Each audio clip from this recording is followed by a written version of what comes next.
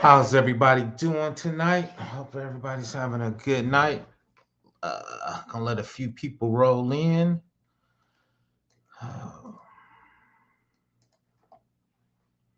I'm out here struggle streaming. See, it's gonna flow in.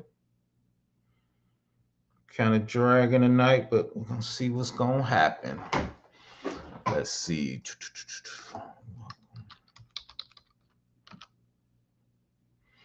You know how we do it. If we got any uh cybersecurity questions or tech questions, just drop them in the chat. You see it. We're gonna talk about HIPAA, HITRUST, high tech. Talk a little health information tonight. One of the big compliances. Uh, let me check on my LinkedIn as I struggle streaming, trying to get set up over there. Uh, got to get my LinkedIn, not yeah, my LinkedIn skills up a little bit. So I think I just need to do it more and more and more and more and more, and we'll get better. So, um, just closing down a few windows. I got a gazillion windows open. Try to free up a little memory. Like I said, gonna hit my LinkedIn. We're gonna get started here shortly. Let me get my LinkedIn. Mm, mm, mm. Tired, been a rough week for me. So, but that's part of the game. You're gonna have good days and bad days. Let's see. trying to see if I can find it. I know I can post an activity. Uh, once again, you know how we do it.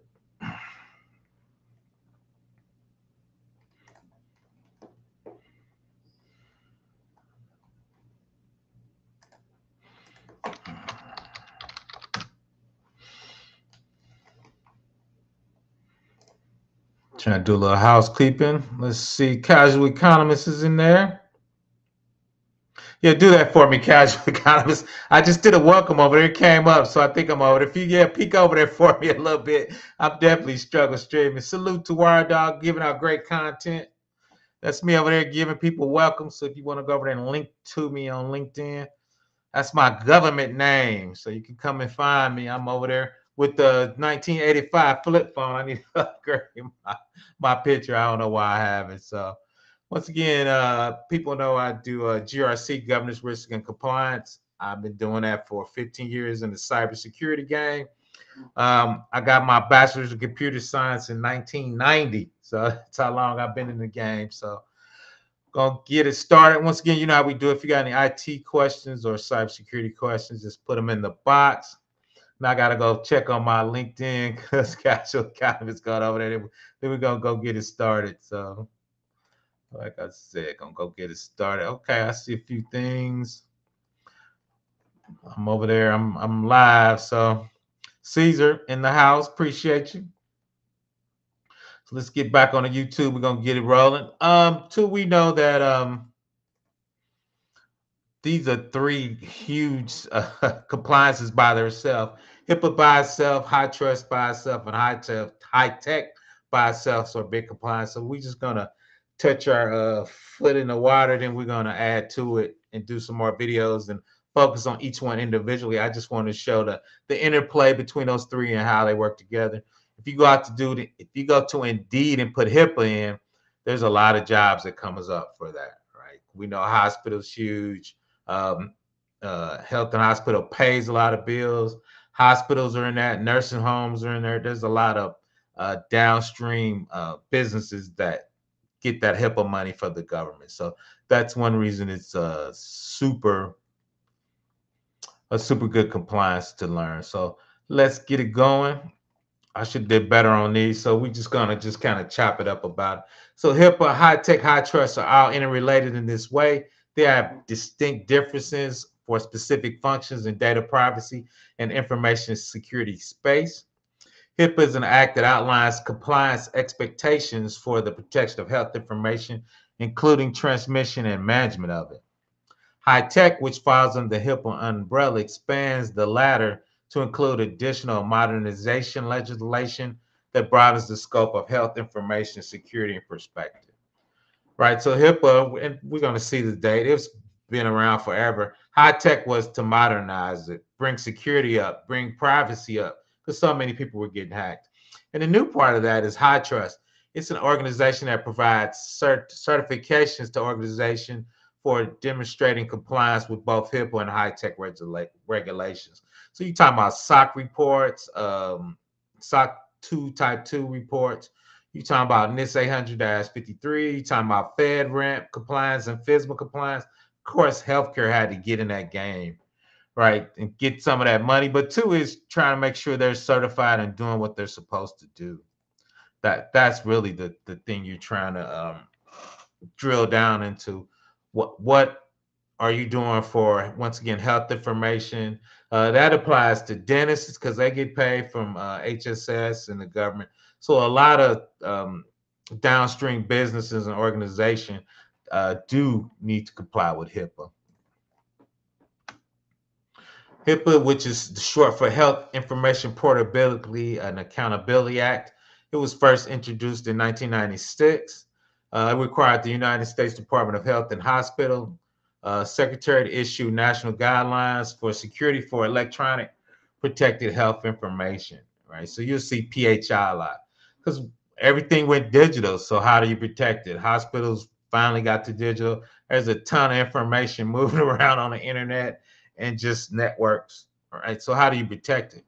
Electronic inter- eh, interchange, health information privacy, as well as security. The three tiers of necessary health information exchange under HIPAA includes treatment, payment, and operations. During a time of immense technology advancement, HIPAA also establishes to accommodate the modernization of occurring with the healthcare industry. Most notably, the set of regulations address the advancements of technology, telecommunications within healthcare industry, aiming to legislate issues surrounding, once again, data access, privacy, and sharing right? Because you go in a testing center, hospitals, uh, your your insurance plan, your insurance plan at work, right? Then we know the government's got their insurance plan. All that health information data is moving around at light speed. Once again, how do you protect it? What regulations do you need to do it, and what hardening do you need to do it? And that's where these three HIPAA, HITECH, and HITRUST uh, interplay and interrelated comes to help you secure that information right? Once again, how do we do that?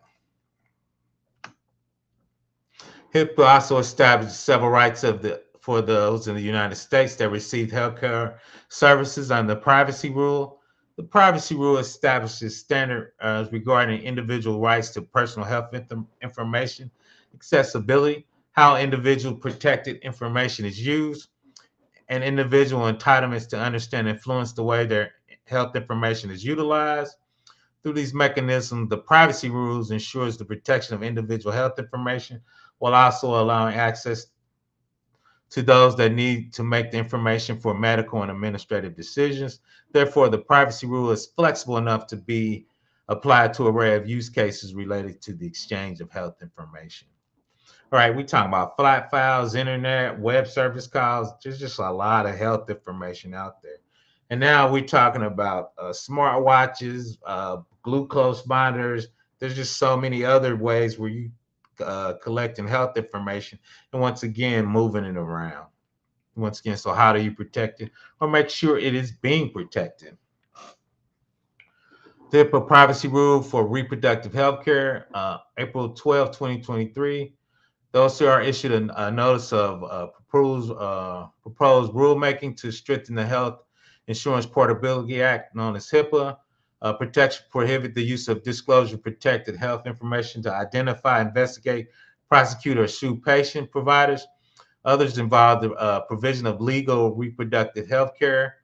HSS has heard from patients, providers, and organizations representing thousands of individuals that this change was needed to protect patient provider confidentiality and prevent private medical records from being used against them merely for seeking, obtaining, providing, facilitate lawful reproductive health care, right? So where do you fall on that line? What I guess what's your uh, I guess your affiliation leaning, but overall that um, privacy needs to be, be protected and that data needs to be, be protected. And that's one one reason HIPAA once again is a very large compliance that's used in a ton of uh, places and uh, such things too. Let me see what's going on on my um, LinkedIn side. Once again, if you got any questions, uh, tech or cybersecurity, just drop them in the box. Let's go, Caesar in the house. Appreciate you. So let's keep rolling. These are some of the types of covered entities, medical providers, uh, private practices, critical access hospitals, healthcare systems, integrated delivery, uh, hybrid works, health insurances, and uh, business associates. All right. A business associate is somebody that works for a covered entity. So, like if you're a medical practitioner, your ambulance might be a third party um, company. So you would need a business associate to cover them for their for their HIPAA um, privacy rules, uh, policies, and procedures. And we're gonna dig a little more in the they call them BAAs.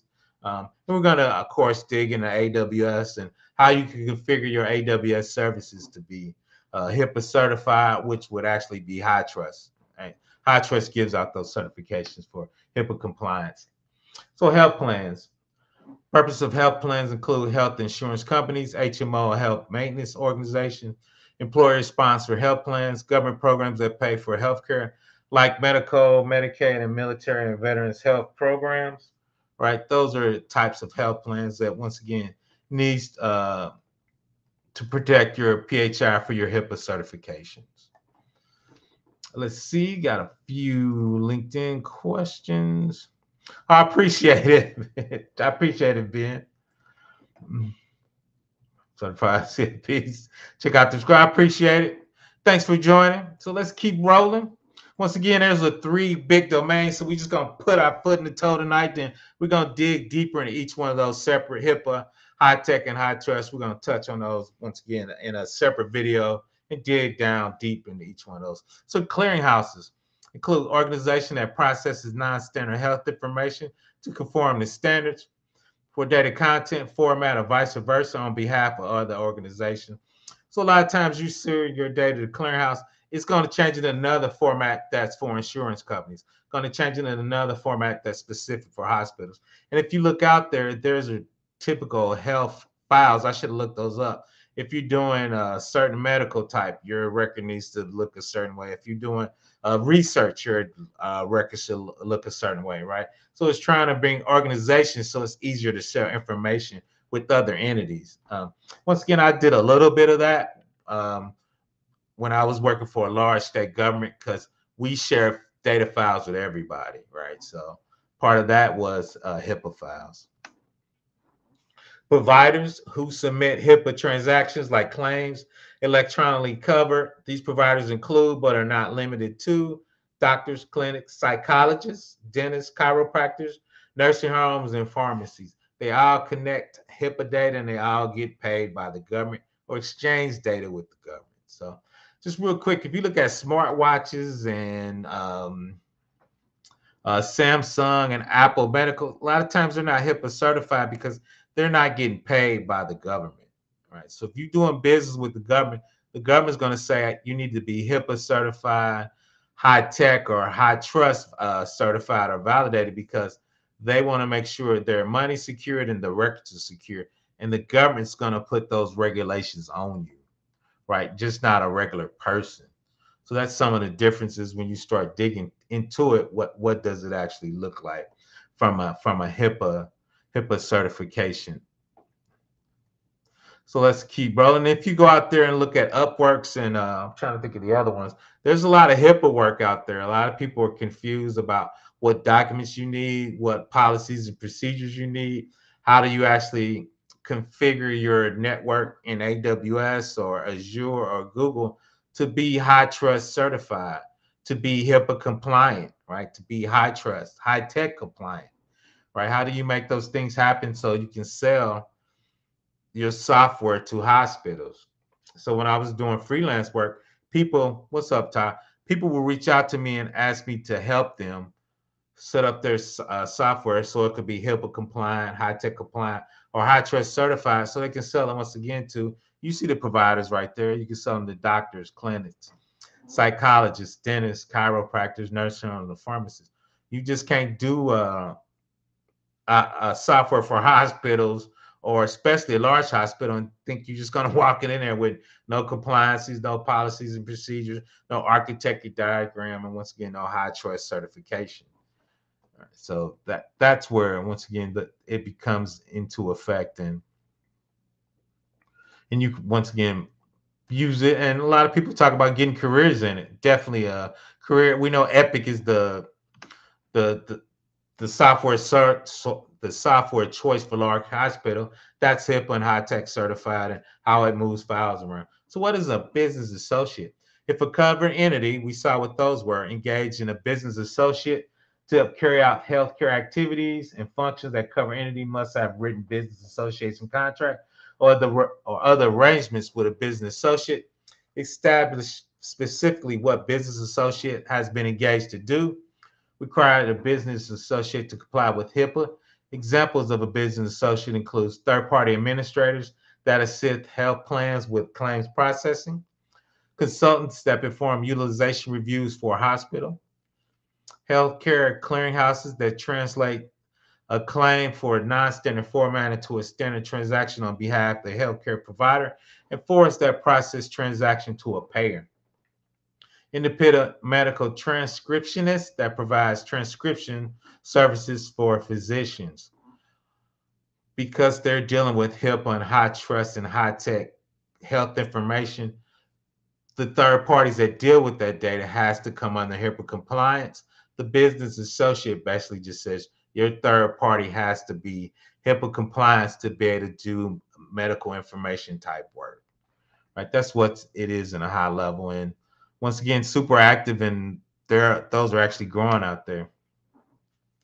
So protected information, we're going to drill down to this. The privacy rule that protects all individual identified health information held or transmission by transmitted by a covered entity or its business associate in the form of media with electronic paper or oral. The privacy rules call this information protected health information. It individually identify health information as information including demographic, democratic, I'm sorry, demographic data that relates to individual past, present, or future physical or mental or, or health conditions, provision of health care to an individual, the past, present, or future payment for the provision of health care to the individual that that identifies the individual for what there is reasonable basis to believe can be used to identify the individual.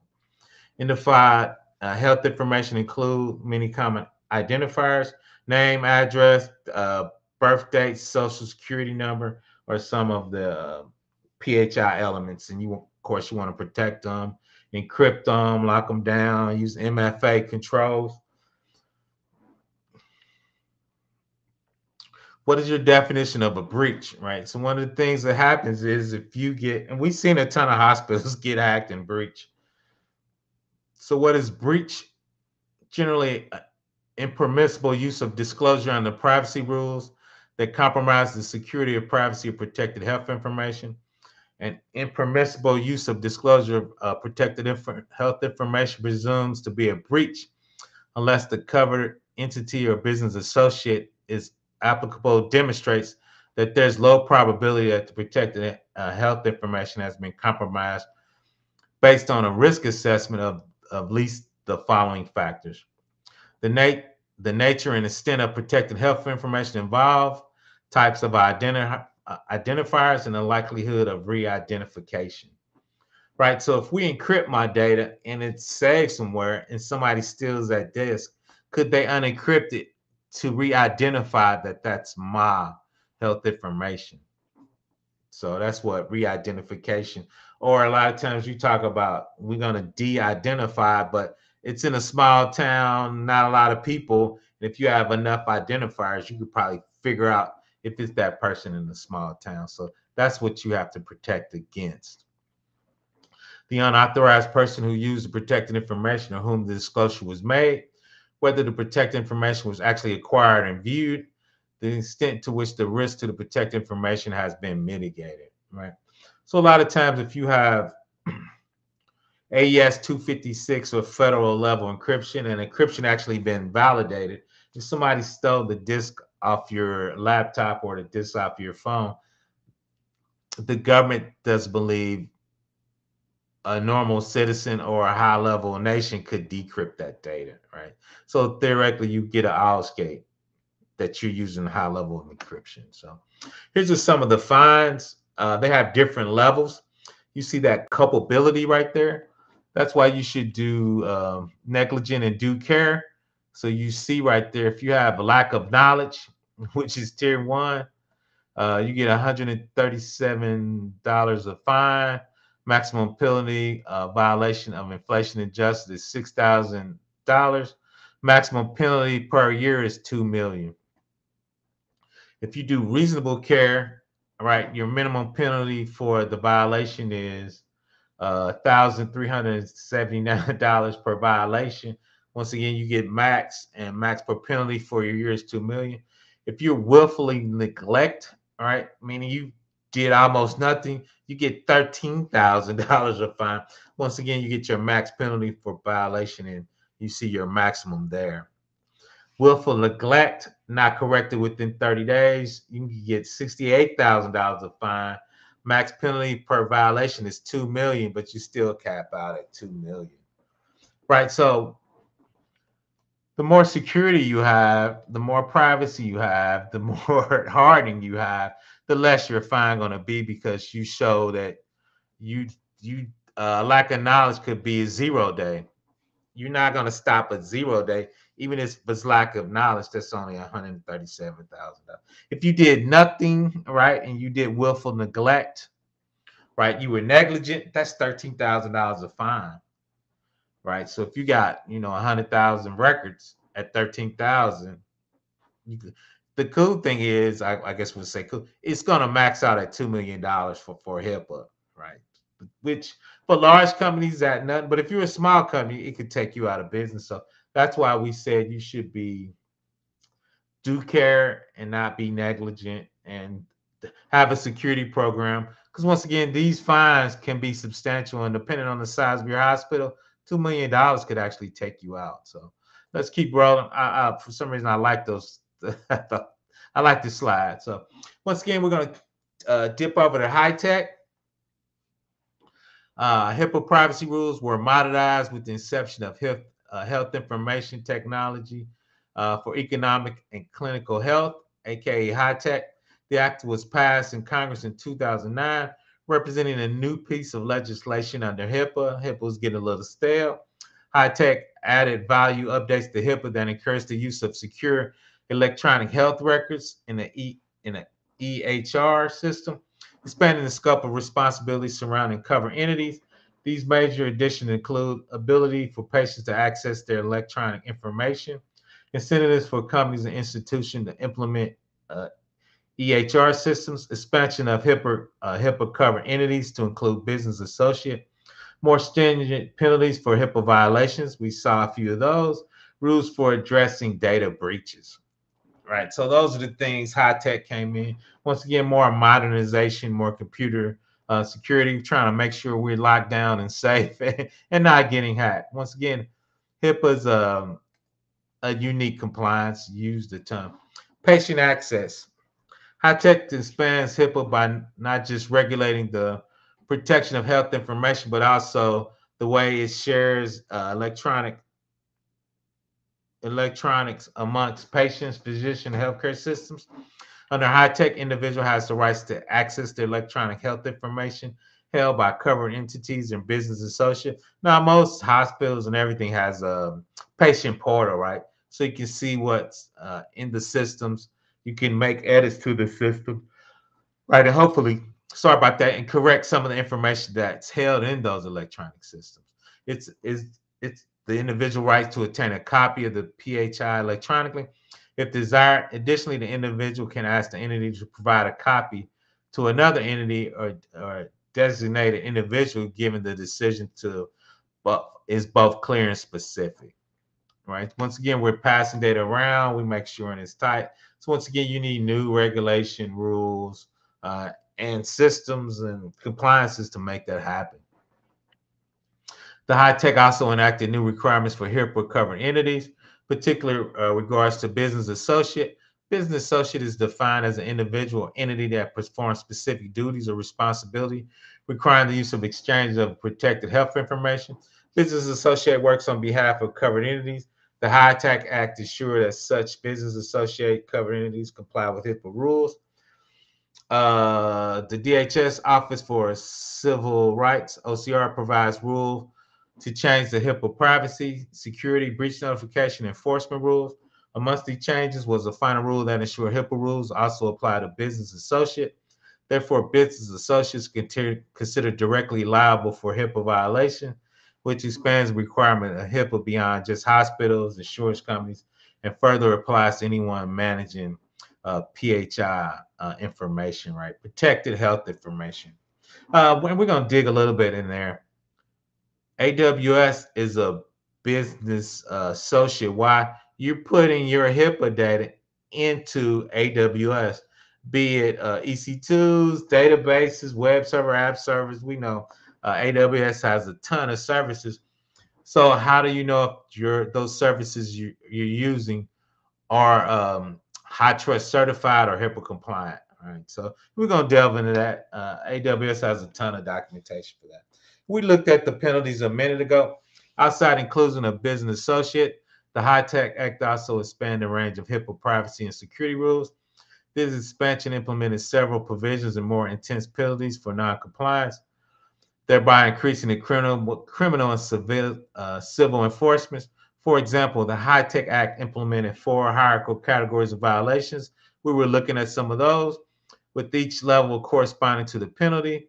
The penalty amounts to increase significant with each violation, with the penalty amounts extended to 1.5. Right, and we looked at those a minute ago. Um, so if you're negligent or not doing due care, right, your fines are a lot higher. If you know you get zero trust, I'm I'm sorry, a, a zero day attack, uh, it could be as little as a hundred, I think, thirty-eight dollars for that particular fine per record, though. So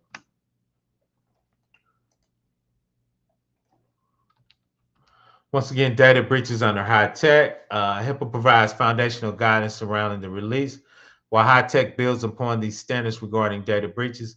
In the event of unsecured, unsecured breach, Tech outline notification requirements for covered entities to abide by. HIPAA covered entities are required to alert affected individuals at after any level of data breaches. For breaches that affect less than 500 uh, people, entities should notify the DHS uh, secretary annually. If the breach affects greater than 500 people, the entity must contact both the DHS secretary as well as the uh, media immediately. These change holds cover entities and business associated accountable to specific government bodies that affected individuals or, or for providing adequate protection of health information. So if you're over 500 people, once again, you got to reach out to the Department of Health and uh, hospital uh, security and the secretary. And two is you got to go on the media and make it known that could be print or on the TV and let people know in that area that there has been a breach.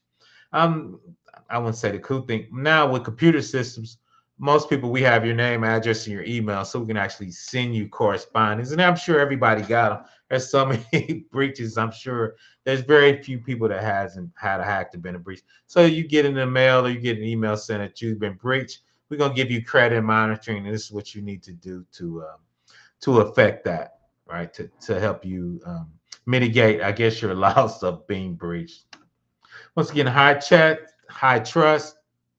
So that's the trifecta, right? We talked about HIPAA, HITECH, and HITRUST. Another term that's frequently associated with HIPAA and HITECH is HITRUST. High trust is also known as the Health Enforcement Trust Alliance. It's not a law like HIPAA or HITECH. Instead, it's a well-known private organization founded in 2007. HITRUST created a common security framework which offers an approach for organizations to assure adherence to several regulatory standards as well as risk management. Right. So once again, uh, private, well-known organization took upon itself to create HITRUST. I'm sure they charge you for that, right? But you can get certified in it to say your system is validated to protect, once again, health information, Right. So let's see. My man Chris is in the house. How's it going? About to hop over there. Appreciate it. Mr. First 30, it's all good. Check it out on the replay. XL Pro, glad you could join me. Check out my man Rondo Mono Paper Pat. Oh, congratulations.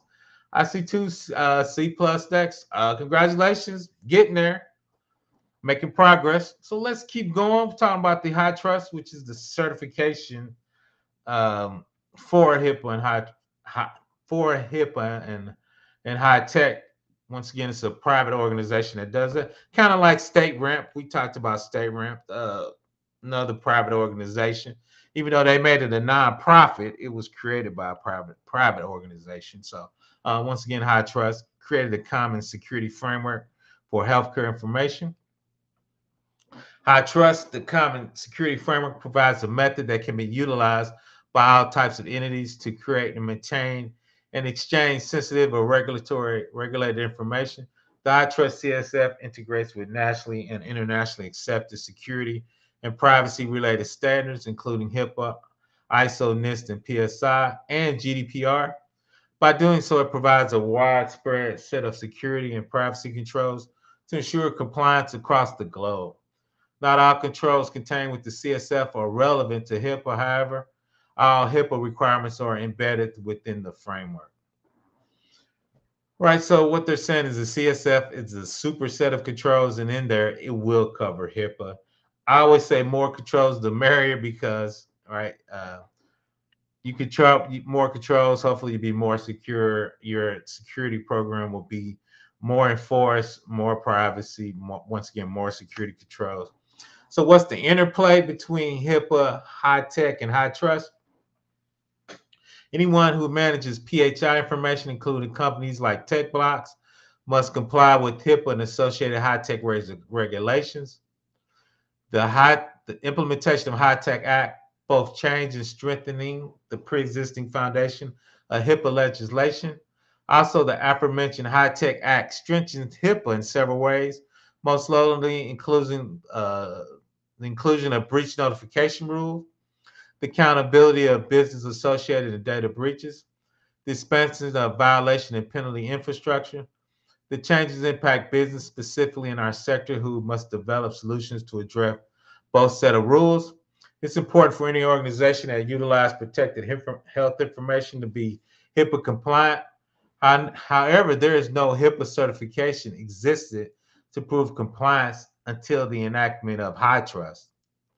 High Trust established a standardization of compliance for any institution by holding HIPAA and HITECH uh, standards, right? So high, tr- HITRUST gives you this uh, standardization and compliance for HIPAA and HITECH. The HITRUST Information Alliance Common Security Framework, HITRUST CSF incorporates nationally and internationally accepted security frameworks such as ISO.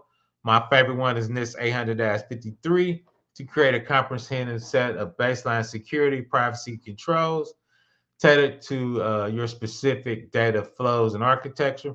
We might go over to NIST 800. Uh, I think it's 66 for HIPAA uh, controls. For some reason, I didn't put any of those slides in there. But once again, the HITRUST is going to leverage uh, nationally and international frameworks. It's already there. Why why would you create the framework, right? So you're going to use those as base uh, base frameworks. Then you're going to put your enhancements for uh, PHI on top of ISO 271 and NIST 800-53. HITRUST was developed a CSF assurance program which incorporates common requirements, methodologies, and tools, which enables an organization and its business partners to take a consistent and incremental approach to managing compliance. Moreover, it allows business partners and vendors to assess and report against multiple sets of requirements to satisfy our favorite thing, third-party risk assessment. Right. So when you're doing business with companies, they're going to ask for a third-party risk assessment.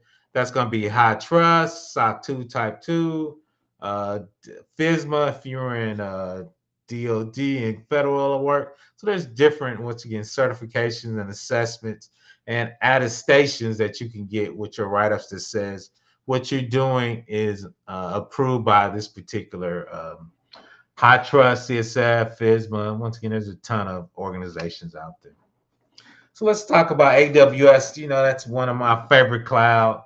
So AWS, once again, helps you become HIPAA and, and, and HITRUST compliant and, and, certified. Let's see what Clean Casual. I switch back to YouTube. I get your channel back on my top watch. I appreciate you, casual economists. I appreciate you. Let me go over there and peek. But once again, we're going to touch on AWS. And you see there, we're going to look AWS services and scope by compliance program the compliance program, we're going to look at HIPAA and HITRUST and see some of the services that they say is already uh, certified to do that type of work. Let's see, I'm rolling over there. We're looking good on um, LinkedIn, trying to do a little more over there. Trying to get my LinkedIn numbers up, but let's get back on YouTube. So once again, so let's check it out. AWS services and scope. So and we talk about this and, and specifically for third party. I was in the GRC study hall before I came over here chopping it up. We were talking about third party assessment. Part of your third party assessment is making sure services uh, that you are using that you use to create your product in AWS are certified to do that type of work. You see, this is AWS, is so you see it right there. HITRUST CSF. These are some of the services they have hundreds of services and you can see if it's certified to do uh, HIPAA, uh, trust, HITECH type work. Right. So Gap, AP, Amazon API Gateway, Chime, CloudFront, CloudWatch, Cognito. Once again, so I would look up if somebody said we were using this services. Once again, for a third party assessment, I will look up in AWS to make sure those services are certified to do that type of work. Uh, once again, this is their HIPAA eligible services, right? Alexa's, uh, Amplify, once again, App Service Sync, Mesh, Aurora, which is uh, their database, one of their databases that you could use. So once again, you want to make sure in AWS, those services you create to create your architecture is HIPAA or HITRUST certified. So you can sell it to a hospital. You can sell it. You saw those covered entities, uh, psychiatric uh, companies. So once again, I I do this um, for companies, vendors, startups to to help them get their paperwork ready so they can get certain certifications. So let's see. Up, oh, shout out to my man, my salute. So let's keep rolling. Talking about that AWS. Um, then two, you go to their frameworks, AWS Healthcare Compliance Alignments and Frameworks. AWS compliance certifications. AWS certification demonstrates security of the cloud, operates effectiveness of AWS controls. Customer inherits these compliance certifications and can use them to demonstrate part of their compliance to auditors and regulators. That's why a lot of people like to start their business in AWS because if you use those services we looked at, they they have uh, compliance certifications once again, so you could pass an auditor an audit. Compliance certification and, and attestations are assessed by third party and independent auditors and results in certification, audit reports, and attestation of compliance. Once again, laws, regulations, and privacy. AWS customers remain responsible for complying with applicable compliance laws, regulations, in some cases, AWS officers. Functionalities such as security features enable legal agreements such as AWS data processing agreements, uh, business associates and support customer compliance. No formal certification is available to or distributed by a cloud service provider within these laws and regulation domain, right? So that's uh, from allows, but from certification, right? That HITRUST was in there, and they could actually certify you for that. Let me see. I think I heard somebody ping me. Um, make sure. So let's keep it going. If you have any questions, put them in the chat. We're going to drop down a link if you want to come up and ask something specific questions. Let's keep it rolling. And here is once again as a third-party assessor, security architect. This will be considered an AWS HIPAA Trust certified uh, architecture, um, meaning all these have been approved in that list we saw for HIPAA or high trust work. And all these um, services here, right? Uh, load balancers, internal load balancers, web, web application firewalls, EC2s, right? Windows or Linux, application servers, IIS or Apache, databases, uh, AWS Cloud HSMs. That's where you save your keys and pull them out. Uh, DynamoDB, Redshift for data warehousing, an EMR, right? We were talking about that inside of uh, HIPAA certified uh, uh, S3 buckets to save backup snapshots and keys, CloudTrail for logging, Route 53 for DNS. All of these components has been certified to do HIPAA work. So if you would actually configure your uh, AWS to do HIPAA work, once again, you could get those HITRUST certifications.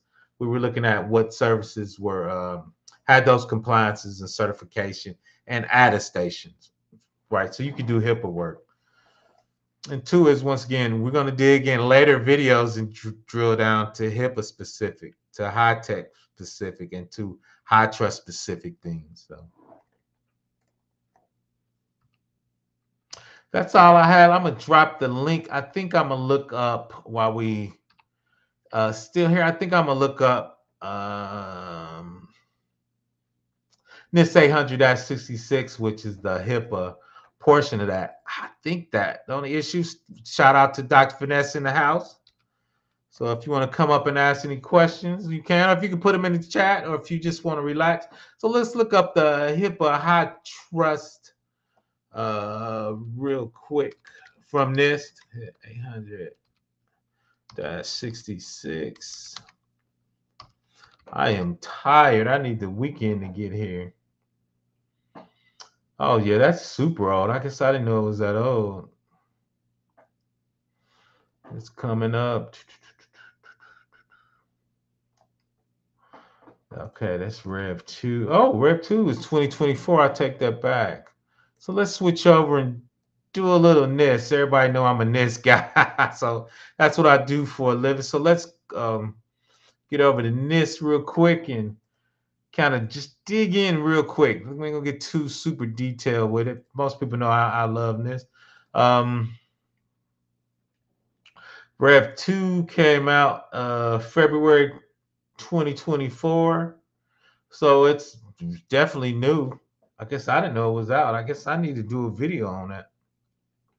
Uh, the draft uh, was 2021. The final right there was 866 Rev 2 2022. So a lot of times when I do HIPAA work, because I usually base my stuff on this, I actually use NIST 800.66 to help me map my NIST over to HIPAA. All right. So let's let's dig into it real quick. We ain't gonna dig into because usually NIST documentations be big as crazy. Oh, it's only 122 pages, so we just tap on it a little bit. Once again, I dropped the link if anybody want to come up. Uh, there, let me make it a little bigger. So R2 NIST free of charge. You see it right there. Where's my date? February 2024, which is this year. Let's just look at the abstract. Uh, HIPAA security rules. We just talking about this safeguarding electronic uh, protected health information held to maintain by regulatory information. Regulatory entity creates, receives, maintains, transmit, must protect against reasonable anticipated threats, hazard, uh, and uh, impermissible use or disclosure. This uh, publication provides practical guidance and resources that can be used by regulated entities of all sizes to safeguard and better understand the concept. So we're just going to look at the table of contents. So we talked about the HIPAA security rules, talk about guidance. Once again, we have the risk. These are the policies they're looking for from a um, HIPAA perspective, security management process, assigned security responsibility, workforce security, information access. We know we need that security awareness training, right? So those are all positive things. So that's 66. Uh, it's definitely needed. I'll definitely put it in the description at the end of the video so you can click on it. Facilities, I'm sorry, physical safeguards. A lot of people, a lot of bigger hospitals still run their own data center. Technical safeguards, access control, audit controls, integrity, and that. Uh, BAA, how do you do your contracts? You got to review your contracts, and there's got to be certain languages that are in your contracts. Once again, policies and procedures. Let's see, there was some good stuff. Um, let's look at the tables. Well, let's look at common threats. Let's see here, 17. So you got your natural, human, and environmental. So when you do your threats, those are some of the common ones. 19. You have uh, likelihood of threats uh, results in adverse, very low, low, moderate, high. So that helps you figure out, we call it BIA, your business impact analysis. Let's see who came to join me. My man, Chris, what's going on? How you doing tonight? Oh, I'm doing wonderful. Figured I'd hop over here. Um, definitely a topic I wanted to learn more about. I did miss the first part, but what I'm trying to catch up on is so my mm-hmm. understanding is the HIPAA, high tech, and HITRUST all work together. Yep, I talked about that, the interplay of that, and I can. Okay. I'll pull up the yeah, slide real quick and find it. Go ahead, go ahead. I'll find the slide. Oh yeah, no, that's perfect. Yeah, that was kind of my understanding there, and then uh, it looks like you're starting to dig into the HIPAA portion of it, right? Yeah, I was actually doing more of the. Uh, I did the HIPAA earlier. I just did it from a NIST perspective. I like, you know, me. I like NIST documentation. But here's the interplay. Let's hit it real quick. Anyone who manages PHI, which is protected information, they did a fictitious tech blocks, must comply with HIPAA and associated HITECH rules. The implementation of HITECH Act both uh, and strengthens the pre-existing HIPAA legislation uh, Tech actually because people were doing more computers and uh, health exchange uh, information between uh, hospitals, your insurance companies, and even your uh, company because you're paying money to make sure you know you have health coverage. How do you exchange that data in a standard format? That was HITECH? Strengthen that in HIPAA several ways, most notably in the inclusion of breach notification, the accountability of associated data breaches, the expansion of violation and penalties. The change impact businesses specifically in the sector who must develop solutions to address both set of rules. Once again, HIPAA and HITECH. The importance of any organization utilizing protected information to be HIPAA compliant. However, no HIPAA certification existed to prove compliance until the enactment of HITRUST. HITRUST established a standardization for compliance for any institution upholding HIPAA and HITECH. So that's kind of at a high level, Chris. And I was a little uh, light on that that interplay myself. So, um, oh no, I completely understand. It's a huge field, is what it really is. Let me get that so, slide up. I'm still over on the which I put that slide. And I'm up. not sure if you covered it yet or not, because like I said, I did miss uh, the 1st mm-hmm. beginning. But one of the interesting things about HIPAA that I was looking at too is, uh, isn't it um, isn't the authority body for that uh, DHS? Yep, I that's in it. Yep. Yep. The the big thing too, I think a lot of people missed out, and I used to do a consulting on that is if you have a healthcare watch that takes your blood pressure, it's not under HIPAA because it doesn't get any money for DHS, right? So if you're only getting federal money, they can't put any federal requirements on you, right? So so yeah. that that's it. I but I think they're gonna change that in the next year. Hmm. Because the reason why is there's a lot of things that collecting health information, but there's no oversighting body on it. Right. So I think that's gonna change, but that's kind of in a nutshell. You got any more questions? No, that that's pretty much uh, the gist of what I was kind of curious about, what you covered there. Yeah, let me just peek on that uh 66 a little more. I guess I didn't know it came out, so Perfect. I might do a video on the 66. And once again, loss of confidential, loss of integrity, loss of availability. So when you do your impacts, those are the big things you're going to look out for. I'm gonna roll back up. Let's look at one of the contracts. I think they had contracting example.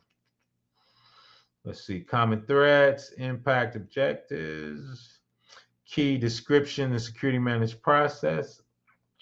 I thought they had contracts, assessment training, so once again, if you go 66, they give you examples. Uh, contingency planning's big. Uh, BA is huge. Um, let's see. I thought they had the contracts out there, but let's peek at one of my favorite ones would be some of the auditing controls in this table. Audit controls determine the activities that will be tracked and audited. So once again, determine activities, simple questions, right? We talk about auditing, we talk about third-party risk assessment. So what's some of those questions be?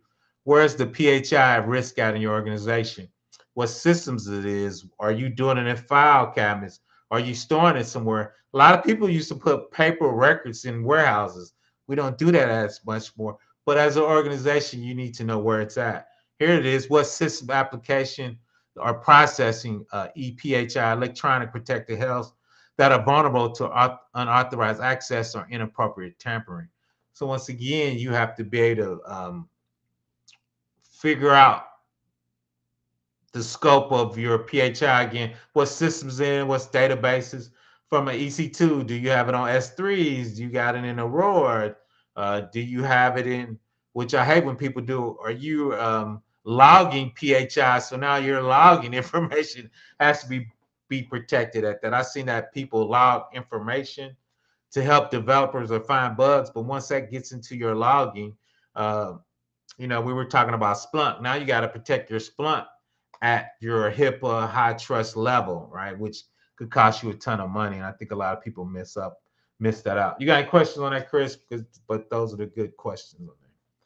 Yeah, I think that part's pretty straightforward. One of the things that I was kind of curious about too is how would it work with assessment? So d- I thought HITRUST included HIPAA built into it, or like if you it does, it does. Yeah, so if you pass for HITRUST, mm-hmm. then you automatically surpass HIPAA, right? You already comply with HIPAA. Yeah, Is but that... what? The, yeah, yes, you know what they did though, which I need to check. To, what they used to do is they said this is HIPAA, but what they did is they said, okay, HITECH is the uh, the addendum to it. They didn't put HIPAA inside HITECH. They just referenced HIPAA, right?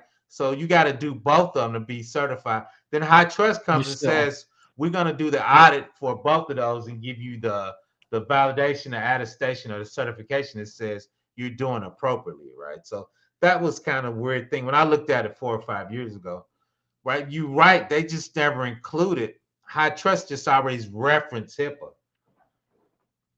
I which, see. Which yeah. Kind of, okay. I yeah, mean, yeah. So it's it's kind of weird. It is but, what it is. Yeah, but two is. But I got to double check on that. I haven't done HIPAA in a while. Like I said, the I company I work for, we, we have a few small things in uh in, in HIPAA and HITRUST. So I do look at it at a high level. So uh, let's look at a few more of these uh HIPAA 66. Two, if you want to dig uh, dig down to it, uh, me and Chris kind of was talking at HIPAA is from a job perspective, a ton of work out there. Uh, with third parties, we talking about you gotta uh, do third party assessment, supply chain for that HIPAA. So that's definitely expanding. If you go on Indeed and put HIPAA come in, there's thousands of jobs that comes up for HIPAA compliance, HIPAA certification, and in, in that too.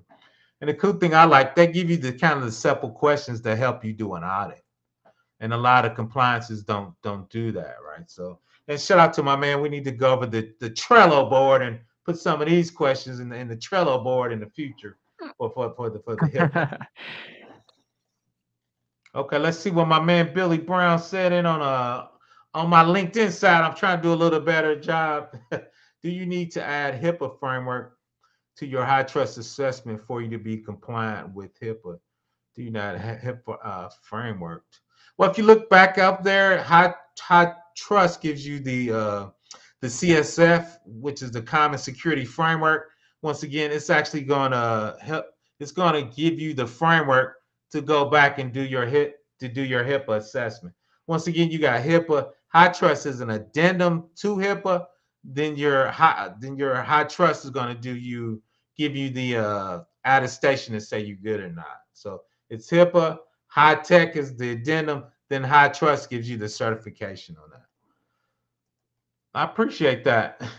this is a great resource. But yeah, once again, people know I'm a NIST guy, so I always start off with this. Let's see if NIST did the crosswalk on here, Chris. Um, they usually have a crosswalk. They did the threat. Uh, I should have looked and see if they did the crosswalk. Yeah, is that the crosswalk? Yes, they did. That's not that's, Uh, Appendix D. you see D where you is it in D? Yeah. Let me find out what page it is. I just look for appendix D. Is it D?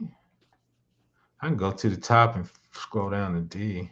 They usually have the crosswalk because I use those a lot. So a lot of times I try not to have to, which a lot of um, IT uh, auditors want. I try not to. Um, oh, there it is, the crosswalk. You're right, D105. Oh, they did short. Oh wow, they didn't really Yeah. crosswalk it. Yeah, I thought it was B. Yeah, it's not like the other one. Um, Yes, they talk about. I think 853 had a crosswalk, but long story short is a lot of times if you have the crosswalk, you can actually take your NIST 800-53 policies and it'll map them for the uh, HIPAA policies. Then the auditor can actually use your 800-53 and do that mapping. So that's why I try to use it. But sometimes a lot of auditors wants to see specific HIPAA policies, so you got to check with your auditors ahead of time to figure out if they're going to accept that a lot of times too is um we did a lot of and my other job is we put all those policies inside an excel spreadsheet then that spreadsheet we can pick those policy out and build a hipaa policy and build a csf policy or build a 800-53 we would just put the body of it in an excel spreadsheet. Depending on what you were looking for, we could actually uh, spin out of that spreadsheet and build a particular uh, policy, especially when you're talking about from an SSP, uh, system security uh, um, program or plan. You can have your spreadsheet populate their plan depending on the um compliances you were looking for. And we're going to talk about that a little bit on my on my on on my platform a little more.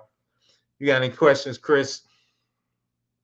Not in particular. Uh, I, I mean, it looks like they did a really good job on this update, to be honest. Oh, Uh, it is. A lot of information in here It for is. 122 pages. Yeah, I'm actually gonna do a Um, separate video on that now. I'll probably do a separate HIPAA 66, well, NIST video. Um, I kind of want to do the major NIST documentations and put them in their their own playlist and add it to my 55 hours of my compliance list. Try to get to 100. No, I'm just playing. Uh, I do have a complete list of all the primary uh, NIST docs, just so you know. So I think I got one. I got one. I got one. I Yeah. might I, I might compare mine to yours though, but I, but I have one. right. Good looking out for Uh, something that I was just looking at here is so the on page 52, security awareness training. Okay, 52. Uh, it looks like they modified that a little bit and added more to it, so okay. it looks more thorough now. So oh it- wow. Yeah, after uh, going through the C- the new CSF 2.0, it looks like they kind of um, pulled some stuff from this, I guess, because I think this Yeah. was released. Oh, they were released the same month. They so probably- both CSF 2.0 and this. Yeah, they pull they pull from each other a lot of times, which is cool. That's one reason I like NIST. They they give you a which can be overwhelming. They give you a ton of resources and and I'm surprised they did that in a clear 122 pages because you've seen that stuff usually 400 pages, 500 pages. So I, I was surprised when I saw 122, but I I probably do a definitely do a um, high level video on this. Um, once again, I usually use this when I do HIPAA work and map it back to the 800-53. And if you're trying to get in compliance, um, and we talk about this in the GRC, HIPAA HITECH, that's definitely one of the major compliances. Even if you don't understand it, you need to understand it at a high level because uh, if you work for a compliance company or a large state agency, you're going to touch a little HIPAA and how that works. And, and Chris will tell you, once you get the process, processes kind of all the same, right? These are controls, these are the policies. Here's the um, configuration management. Here's the awareness training, right? They all kind of build on a program, but of course they have certain nuances to make it for hospitals, right? And you being a SME is that's the part you really kind of need to dig into. Yeah, and you probably already covered it regarding HITRUST. Mm-hmm, mm-hmm. Uh, so Ben Phillips had mentioned not all HITRUST is the same, or all HITRUST isn't the same, is what he had stated. Uh, I, I looked into hi- Go ahead. Go ahead. I'm sorry. Oh, Yeah, so he had stated that on LinkedIn. Yeah, so I I think that's a really good thing to mention. Uh, I don't know if you covered it before I got in here, but I did look a little bit into HITRUST, not too Mm. much. Uh, but that's something I found interesting too, is that HITRUST, like they have their own, their own, um, based on industry, is my understanding. Is that Yeah. right? Mhm, That's correct. Okay. Yeah, uh, I'd be really interested to find out about like the the scoping and assessment process for this. I mean, it's basically the same as what it looks like, but like you said, the different nuances. Yeah, here I So it's- did. Oh, keep going, keep going. I'm gonna show. Yeah. So would you start with um, would you start with HITRUST and then you would add on the HITECH? Is that how you would do it, or Uh, it it depends. Yeah, I know. I always say when I say it depends. The reason it, it depends. the reason it depends uh, for for me is a lot of times, and we talked about this is when I do it, I'm usually doing it from a strictly particular security infrastructure and policy. So when you do with HIPAA, right, they're gonna go into shredding, compliance, interchange. That's usually a separate person that does that, right? Because you're more talking about the inner workings from a hospital standpoint, right? How are you marking data from a paper standpoint, right? So that's where you kind of break it up.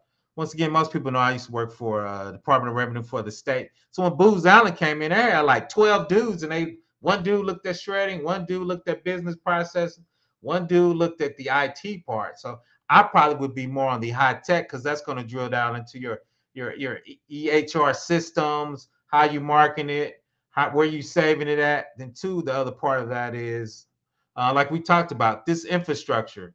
And I, I, Chris, here you go. These are the AWS services that are HIPAA eligible. These are the ones that HITRUST. Most of them overlap. But then two is I can look at their infrastructure. So I'm gonna look at it from an IT perspective, but there's a whole business function in there. But then oh, appreciate you. So, but yeah, he. Um, but I think Ben probably got a little more, uh, probably HIPAA levels than I do, to be honest. Like I said, I a little usually bit more? yeah, if you want to come over on the link, if you want to come on on the YouTube side, we'll let him up. But yeah, so but like I said, I, I usually do it more from a, uh HITECH because I'm looking at the systems, I'm looking at the uh, sy- uh, encryption. We talked about there. Um, once again, I probably look at FIPS. I don't know if HITRUST makes you do FIPS level, which is government approved encryption. So I would have to check that. So usually I look at it from a, a HITECH, which is usually looking at the system uh, part of that and not the business processes, um, configuration management part, right? So there's a ton of different. And two, like we talked about, from a third party assessment, I'm usually looking at the technology piece and is it encrypted? Is it encrypted at rest and in transit? Is it encrypted in memory? Um, which one are all these services HIPAA HITRUST uh, certified through AWS, right? So And so, coming from it with virtually no experience or understanding of the HIPAA side of it, Mhm. um, but so with the HIPAA, with HIPAA in particular, aren't you Mhm. primarily looking and following the data itself? It's not so much the system as it's the data that Facts. you're worried about. A hundred percent. Hundred percent. Okay. The data is gonna tell you what systems you look at because the data going through that system is gonna put it in scope, right? And that's all that would matter with HIPAA is is wh- what data you're working with, the data sensitivity or classification. It does, but you got to remember a lot of times is they take that data, they can roll it up inside a warehouse. So if I can still pick me out in that warehouse, now that warehouse is in there, right?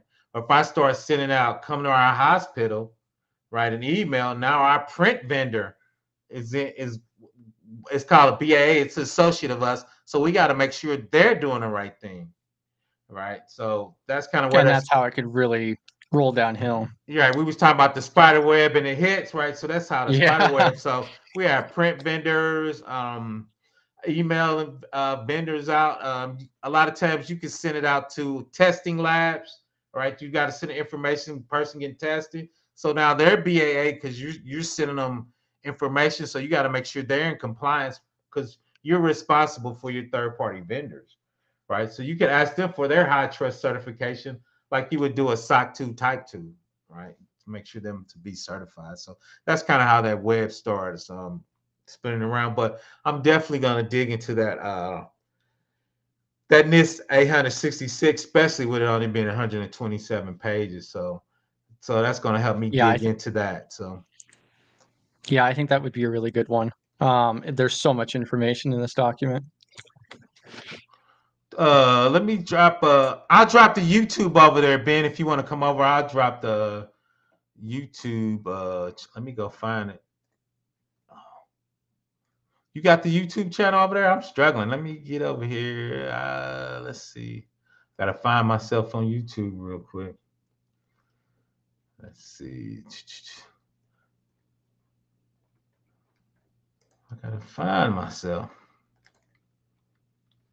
I usually I used to have myself always running in the background. I don't do that so much. Okay, that's me right there. Uh, I believe I just dropped that restream link for him over there on LinkedIn.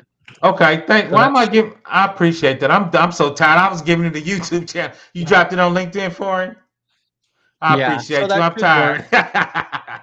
That's Good all looking out for me, Chris. I'm, I'm tired, man. I'm getting old. Good looking out. Let me see. Did you drop it on uh drop it in uh LinkedIn? You drop it in LinkedIn or YouTube? uh, I put it on LinkedIn for him, Okay. so I don't replied to his comment on LinkedIn. Okay, I guess I don't see it, but I trust you. I don't see it. You see Yeah, I replied to his comment. oh, you replied, and maybe I don't see it because you replied to him. Ben, did you get it? I said Ben got it.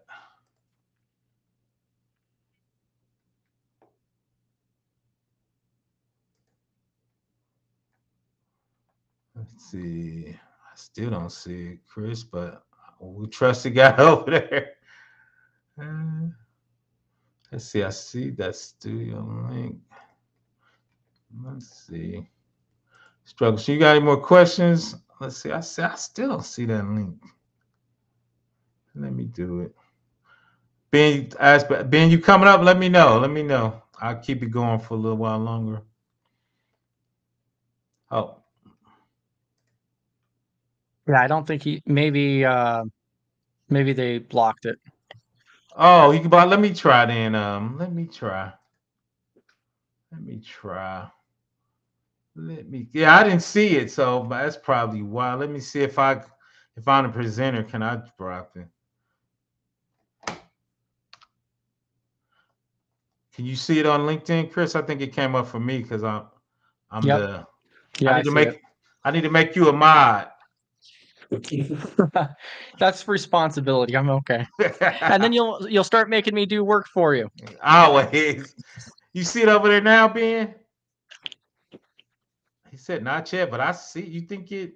Did you see it come up on your side, Chris? Yeah, I see it on my end. So he should see it. So I guess since I'm the author. Yeah. Uh, that's kind of like with me not knowing how to post the links on YouTube Oh, because I had to yeah, that account. I- yeah, I'm struggling. I was gonna send him the YouTube channel. I don't know. Oh, he's here. Let me get him in here. Perfect. Glad you could join us, Ben. What's going on? Oh, doing nothing some late much. night. Yeah, I, I'm always going late. I don't know why I keep doing that. I got to be at work early in the morning. I don't know why I keep doing that. But welcome to the channel. How are you doing? Good. One second. Trying to figure this thing out.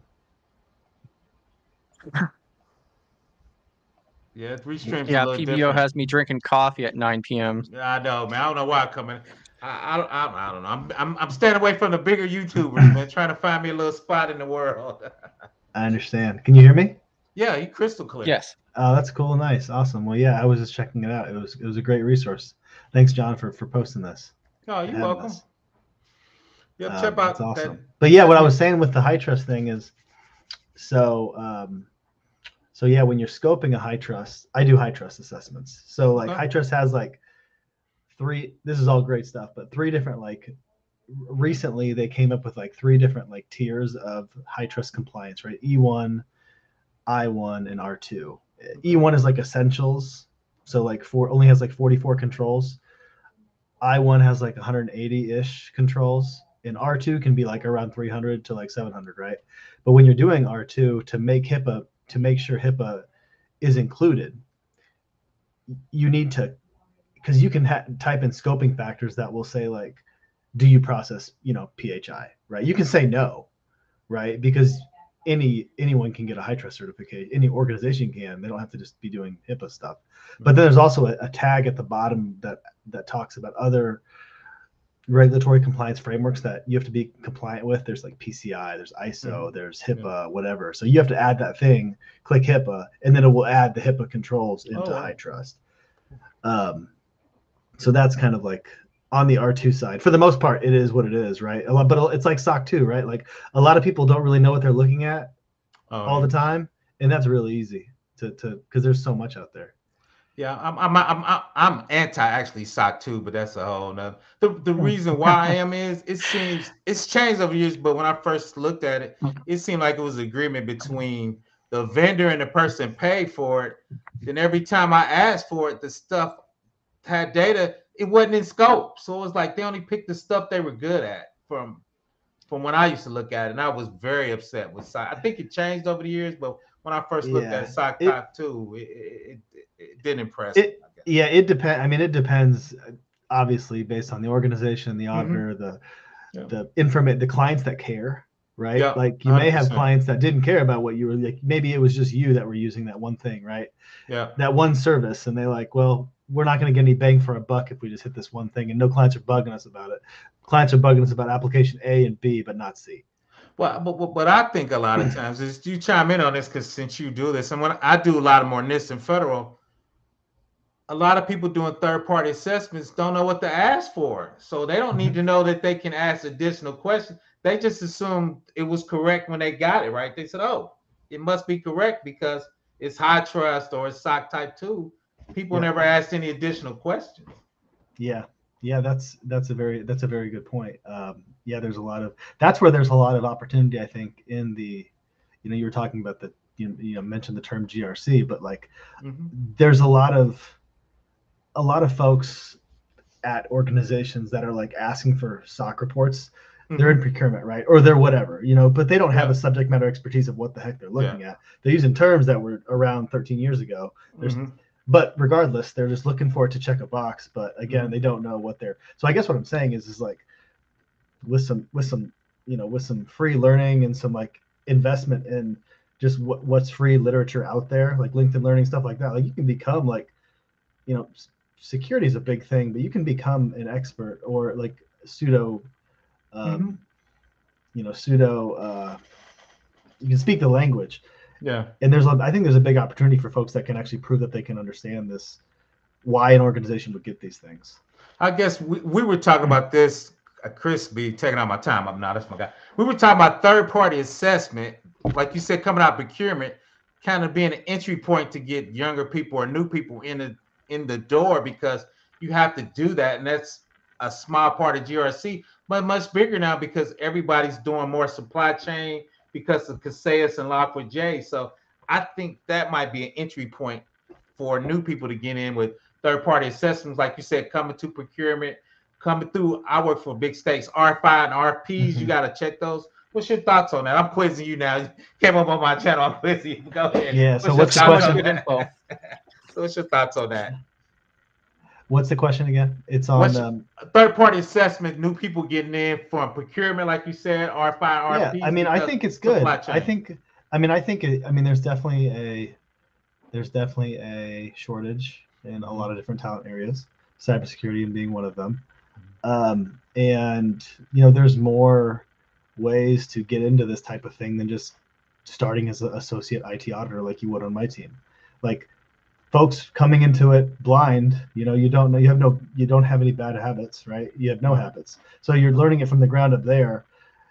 You're- looking at stuff from a different vantage point of like auditing and giving it an audit opinion, but Mhm. on the, you know, uh, new client vendor assessment area, you just need to be able to understand why you're asking because that organization is going to have their they're like doing their own audit right? Yeah, they're asking yeah. they got their own questions. So i think the best thing that that person can do doing that is do you know do you actually understand the questions that are being asked? Right? And, and, and the questions that are being asked do you know why you're answering asking it to that that vendor? Right? Yeah. do you know like if if there's a physical security part or like uh you know, if there's a physical security part and you know that the vendor's not hosted in the cloud, right? Like, why are you asking about it, right? So, or I probably didn't say that correctly, but you know what I mean. No, no, I got what you're saying. yeah, like so, so I think so, but I think there's a, a good opportunity for people to, you know, grow and improve in that in that area 100. percent Um, Yeah, yeah, we were kind of just kind of talking about that. Like you said, that's kind of why I try to bring up AWS. These components are certified by AWS, right? And that's that Yeah. shared responsibility.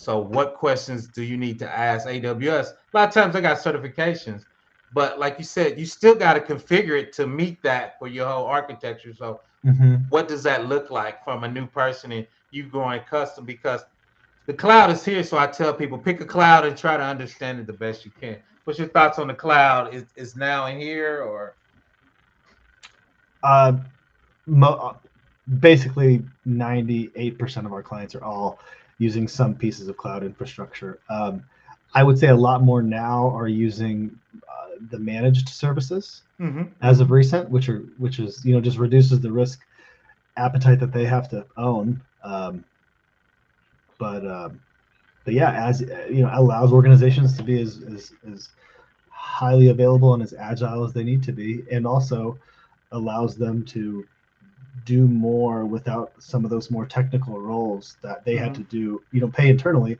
They're just able to you know pay that to the cloud service provider and handle you know the- infrastructure management, right? Yeah, the, the only pushback I, I do every now and then, I get smaller um, vendors or smaller clients go, I'm in AWS, I'm good. I'm like, no, you you responsible for configuring it, right? They think because they're there, they're good. I'm like, now you you own a piece of this, right? Of and Mhm. in the cloud. So I think a lot of smaller clients seem to miss that. You still got to configure it, right? And you Yeah. still own a pieces of that. So I, I I think smaller clients are still learning that that kind of piece. Yeah, well, th- it'll come around. I mean, they can play. Organizations can play that game for a little bit. Um, Yeah. But yeah, until they, you know, until they have a client that, you know, puts it in a contract, and they, Oh, you know, then then it's then it you know then it is what it is, right?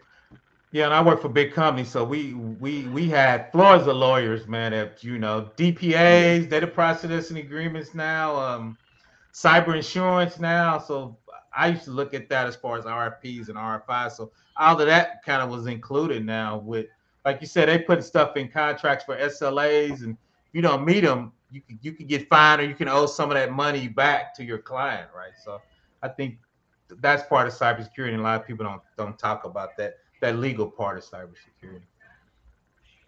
Yeah, for sure.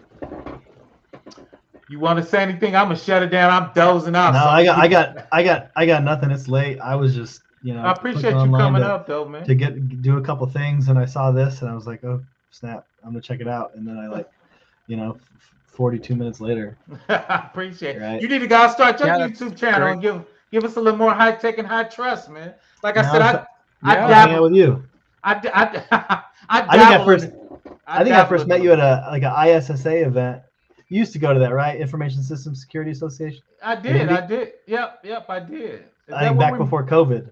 Yeah, is that where we met before? I think it was like uh, it might have been like an Ice Miller at Ice Miller, like right yeah, before it was. It was. Yeah, yeah. I remember Yeah. it was like March 13th, 2020. I just Oh, got wow. back from Key West. The world Man. was normal, and I was like, Wow. and I knew what happened because the client that day told me that like they're shutting their offices down, and I'm like, and then Ice Miller, you know, and it was it was it was a great event um, in the It was, evening, huh? but uh, but I knew like this is the last time we're gonna be around people for a while. they, like- they don't That's They only- crazy. They don't even do I squared in our area anymore. So that's kind of I think they shut it down. I don't I don't think they're doing it anymore. Uh, they, they they're still ISSA. Uh, Are, are they still doing events? I I, I didn't see. yeah, it. they're doing events still. They, I went to the Christmas party. Okay, I might have to look it Uh, out. I, I really enjoyed those. So Yeah, no, they're good. They're good. It's good for good for networking. Good to meet people. You know, yeah, we, eat were- pizza, learn some stuff. yeah, we were just talking about that in another study. How that you should go to your local event because you meet people. And like I was telling them, people would bring jobs to those events that at their Yeah. company they were working, and the networking was super good. And um, For So sure. yeah, I tell people definitely it can't hit your local group because the camaraderie was super good, and um, especially in ours, there was a lot of super smart people that would present. And the Yeah. pizza was good, even though I need to go on a diet. That's a whole that's a Yeah. whole other issue. I Well, hey, appreciate thanks- you coming up, man. Yeah, thanks for thanks for thanks for having it. And thanks for inviting me. How do I add it to my like follow thing? Which uh Like, do you post on? How do I know about this each month? Like, when do you? Oh. how frequent do you do this? Uh, I do this. Uh, Chris is saying I do it once a once a week, but usually it's usually Tuesday or Wednesday. I, I can't figure out my day. Long story Okay. short, I've been working too much. But if you subscribe to my YouTube channel, you can Hmm. put um, I forgot. You can say be notified when I put out a new Yeah. video. All right, I'll do that. It was maybe my Uh, first channel. I appreciate you, man. We definitely gonna have to link back up, and I'm at the I'm at to interview you as a special guest. I'm gonna start Uh-oh. doing my interviews again. Yahtzee. Yahtzee. So we- All right, yeah, cool. yeah. For the next video for HIPAA and yeah, uh, high, tr- high, HITRUST. trust. Yeah, we Yes, can talk sir. about that. I appreciate you for coming up, man. See ya. Have a I good see you. evening, everyone. Thank you very much. You I guys have a good one. I see you in the local team soon, man. I got to go back to the highest square. Thanks for coming Yes, up, sir. Chris. Uh, you'll see me and him on LinkedIn with the GRC study hall. So me and Chris Whitlock is usually in the GRC study hall. Um, I'm gonna hang out for just a quick, brief second. If anybody got any more uh, questions, check. Uh, shout out to my man Ben Phillips. Obviously, he's from my state because we went to the our local security group. PBO be talking too much, so people be remembering, be remembering. But no, definitely gonna use him as a uh, HIPAA resource. He does it uh, daily, and I do it probably once every quarter. So we're gonna definitely dig down into that that that that HIPAA skill set. Um, definitely hiring, definitely on um, LinkedIn, definitely a super super high resource. Uh, once again, I'm glad he joined us. Uh, once again, please subscribe. Come check out my YouTube channel. Just gonna hang out a little bit, checking out on my LinkedIn. It seemed to be holding up well. See if anybody have any more questions. I want to appreciate everybody from checking out. Let thank you. Let's do this every Wednesday. I should I need to do it on Tuesday so it won't bump up against GRC study hall, Chris. But I, a lot of times I just run out of time. I need to start making more time. I've just been a little tired and a little burnt out recently, but it is what it is. Once again, I want to appreciate everybody for joining me. I'm out. Everybody have a good weekend. Hump day's over. Weekend's almost here. I just got to make it. Thanks for joining.